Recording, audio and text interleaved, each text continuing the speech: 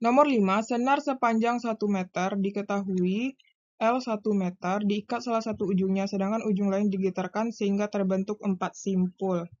Nah, empat simpul ya, kita gambar. Satu, dua, tiga, satu lagi ya, empat. Berarti ini N-nya adalah 1,5. Berarti L-nya kan 1 meter, berarti lambda sama dengan L per N. Berarti 1 bagi 1,5 sama dengan, uh, apa biar aja dalam 1,5 gitu. Letak perut kedua dari berarti XP2 ya. Jadi yang ditanya itu XP2 dari ujung pantul, XP2-nya. Nah, uh, jadi kalau letak perut kedua berarti XP2 sama dengan, itu rumusnya adalah 2N tambah 1 kali lambda per 4.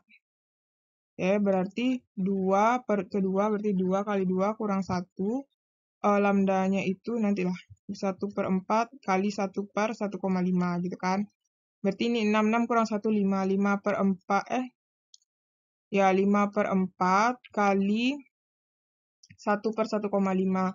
Berarti 5 per, uh, ini ya.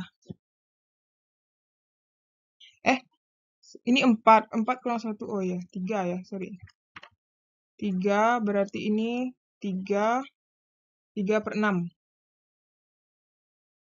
3 per 6. 3 per 6 itu kan 1 per 2. 1 per 2 adalah 0,5 meter atau sama dengan 50 cm. Jadi jawabannya C.